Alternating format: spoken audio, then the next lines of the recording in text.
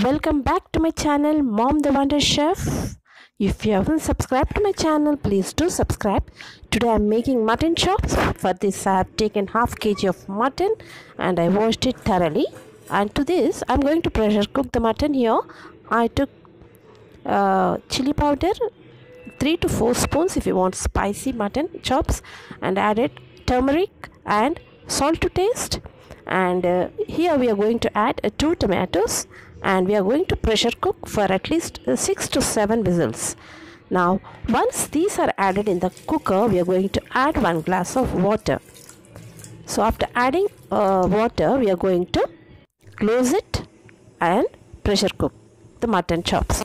Now in a pan meanwhile we are going to add uh, 5 spoons of oil uh, to this. I chopped at least 4 uh, onions and this I added in this oil.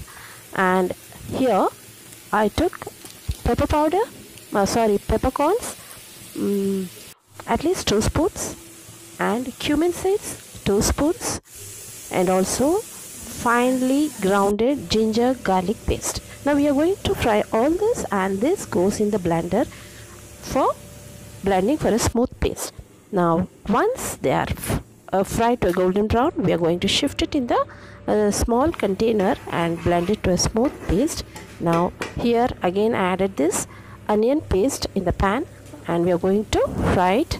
Again adding few turmeric powder chili powder salt and the water in the cooker which we have boiled and kept the chops now once they're all been added we are going to add even the mutton chops and going to fry it till the raw smell uh, leaves the curry. Now once they have been uh, fried at least for a simmer in 5 to 10 minutes uh, the curry is ready now.